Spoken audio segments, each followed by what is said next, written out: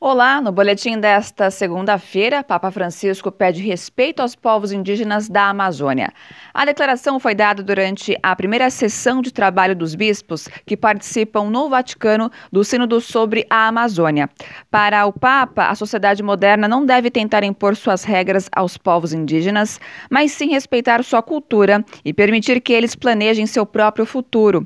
Francisco ainda advertiu que as ideologias são uma arma perigosa e pediu que se controlem os impulsos de domesticar os povos originais. O Sínodo discutirá, até o dia 27 de outubro, problemas ecológicos e sociais da Amazônia e tentará apresentar propostas para o trabalho da Igreja nesta região.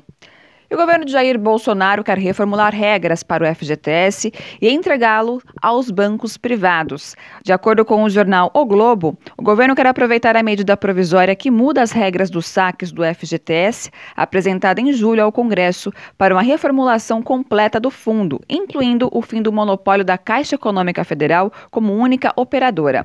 Isso significaria entregar o acesso aos recursos do FGTS para os bancos privados. O dinheiro do FGTS é utilizado em financiamento de grandes projetos de infraestrutura, saneamento e habitação com taxas abaixo das cobradas pelos bancos particulares. Mais notícias e informações você confere às sete da noite no seu jornal. Até lá!